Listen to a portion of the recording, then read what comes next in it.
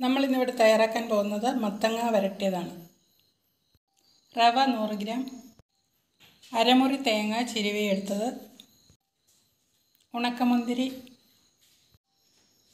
അണ്ടിപ്പരിപ്പ്. ഏലക്കാപ്പൊടി. നെയ്യ്. ഇരുന്നൂറ്റമ്പത് ഗ്രാം ശർക്കര ഉരുക്കിയെടുത്തത്.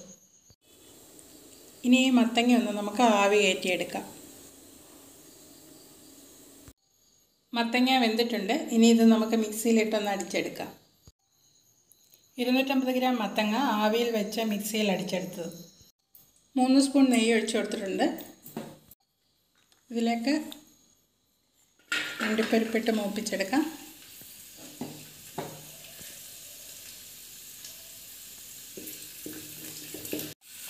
മുന്തിരിങ്ങ ഇട്ട് കൊടുക്കാം. ഇട്ടിട്ടുണ്ട് ഇതൊരു പാത്രത്തിലോട്ട് കോരി മാറ്റാം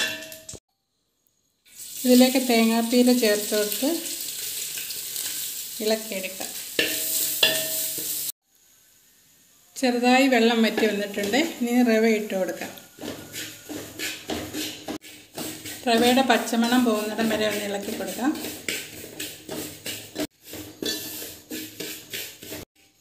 ഇനി ഇതിലേക്ക് ശർക്കര പാനി ഒഴിച്ചെടുക്കും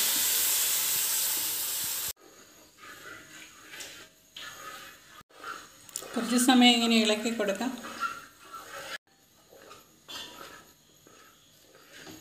ചെറുതായി കുറുകി തുടങ്ങിയിട്ടുണ്ട്. ഇതിലേക്ക് മത്തങ്ങ ഇട്ടുകൊടുക്കാം മീഡിയം ഫ്ലെയിമിലിട്ട് നന്നായിട്ട് ഇളക്കി കൊടുക്കണം.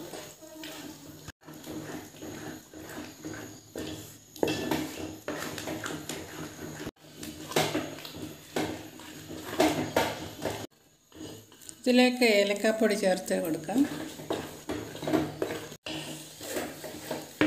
സൈഡൊക്കെ ഇളകി തുടങ്ങിയിട്ടുണ്ട്. ഇനി ഇതിലേക്ക് നട്ട്സ് ഇട്ട് കൊടുക്കാം. നന്നായിട്ട് ഇളക്കാം.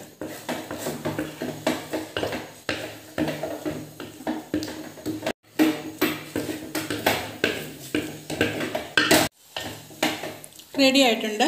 നമുക്കിനി അത് ഒരു പാത്രത്തിലേക്ക് മാറ്റാം. പാത്രത്തിൽ നെയ്യ് തടവി നമുക്ക് ഇതിലേക്ക് ഇട്ട് കൊടുക്കാം.